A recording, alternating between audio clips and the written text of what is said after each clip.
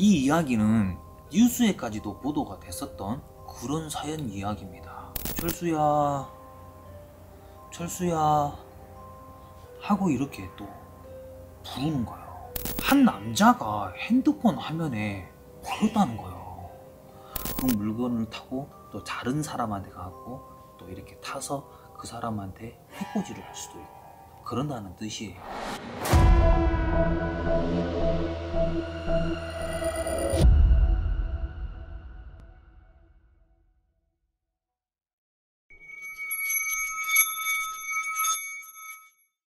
안녕하세요. 떠치야 마이클. 떠치입니다.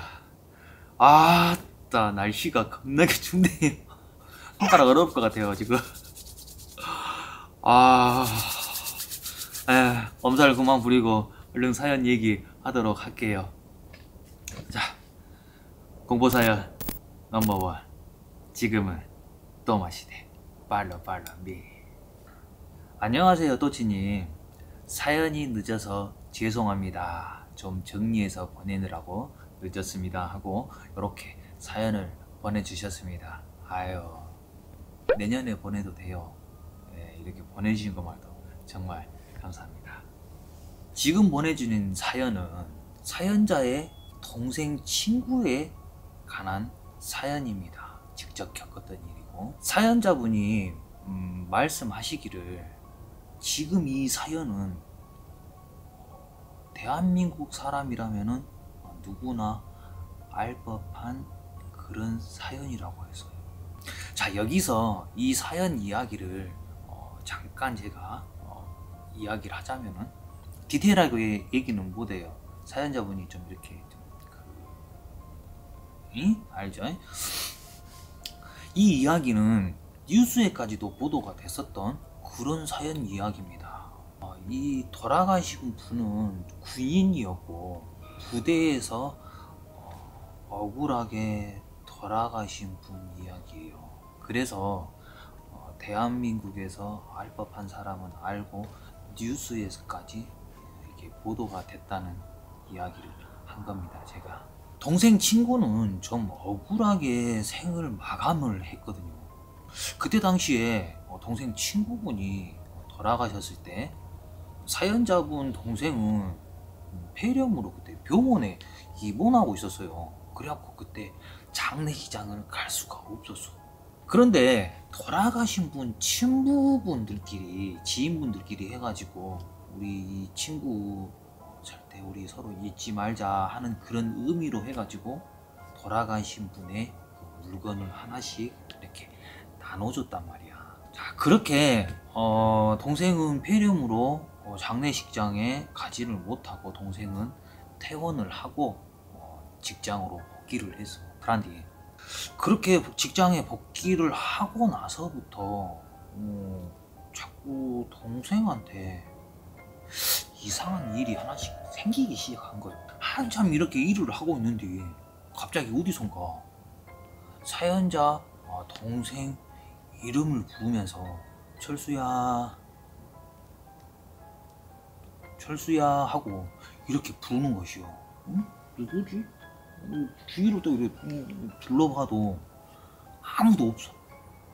어, 내가 뭐 학교 들었는가? 그런 생각에 다시 집중 잡고 일을 이렇게 하고 있는데 또 어디선가 철수야 철수야 하고 이렇게 또 부르는 거예요.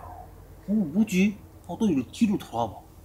그런데 주위에서는 아무도 어, 철수를 부르지를 않았어요. 그리고 이런 일만 생긴 것이 아니라 멀쩡했던 형광등이 갑자기 깜빡깜빡 거리기도 하고 아, 그래. 형광등이 그렇게 깜빡깜빡 거릴 수도 있겠지.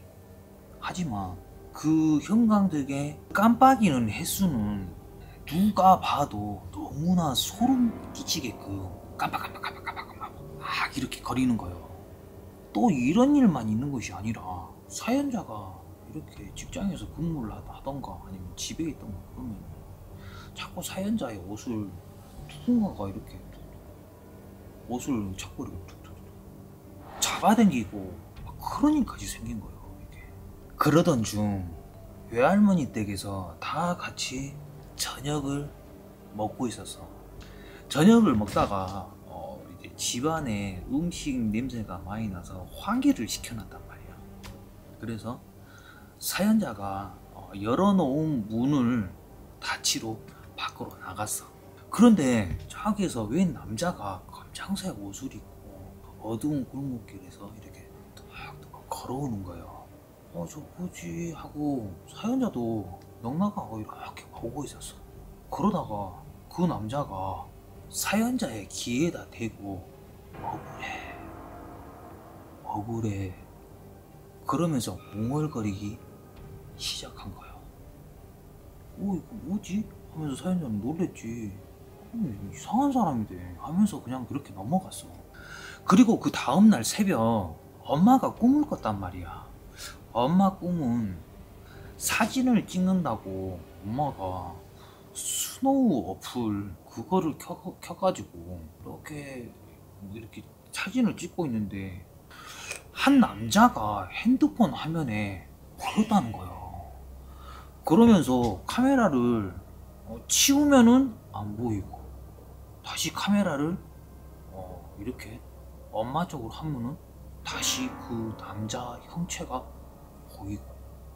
근데 그 남자 형체는 한 20대 초반의 남자가 침대에 이렇게 기대 껴 가지고 엄마를 이렇게 바라보고 있었다 게.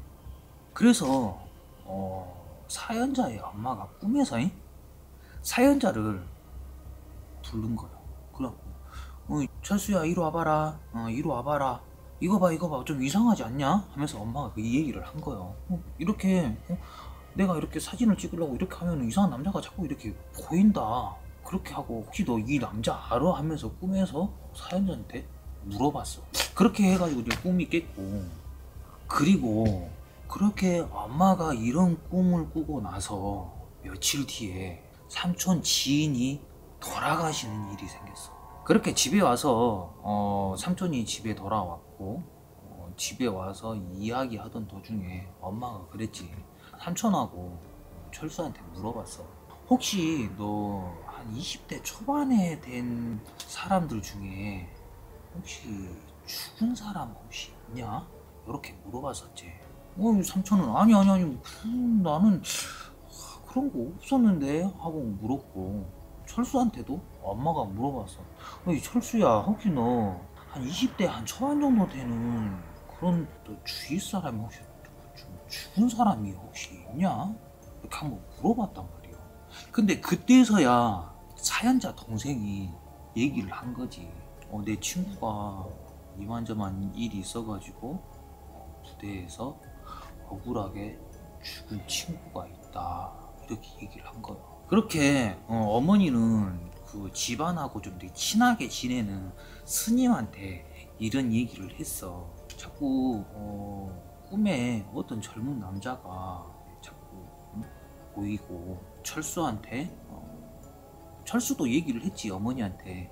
어, 나 이런 이런 일은 어, 자꾸 일을 겪었었다. 라고 그런 이야기를 스님한테 다 이야기를 했어. 그러니까 스님이 하시는 말씀이 뭐냐? 그러면 그 물건을 태워주라고 하셨어.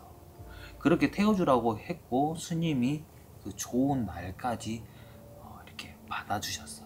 그리고 스님께서 하시는 말이 당부의 말씀을 하셨어.